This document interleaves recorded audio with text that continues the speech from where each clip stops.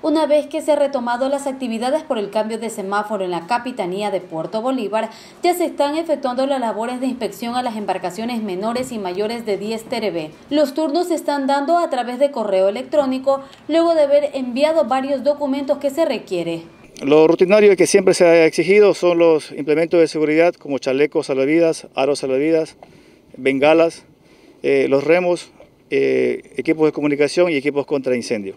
Esta embarcación que estaba siendo inspeccionada no cumplió con todos los requisitos solicitados para obtener la matrícula. Cabe indicar que al igual se les otorga un plazo para que completen lo solicitado y tengan los documentos habilitantes para efectuar su labor. Verificamos una embarcación, eh, no tenía los chalecos, tenía extintor caducado, eh, las bengalas, les faltaba una bengala de, de humo.